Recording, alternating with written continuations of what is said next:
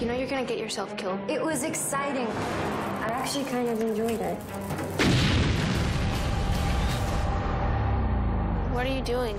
Making a suit so I won't get burned again. Bridget and Selina are old friends. They grew up together. They kind of grew apart because Selina is a survivor and she's very independent. You don't need anybody. Look at me. I'm free. Who cares if you're free? What good's freedom if you're? What good's family if you're a slave? While Selina is trying to teach Bridget to be her own person, Bridget's brothers are forcing her to burn these buildings in Gotham. This thing scares me. Yeah, it's a flamethrower. It's meant to be scary. Get suited up and get this done. And that's a disaster waiting to happen. GCPD! Put down the weapon!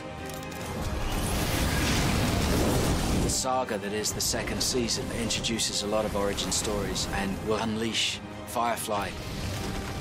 Bridget is the first female version of the character, which I think is amazing. Girl power. Put all your cash in the bag. Or what? I ain't scared of you.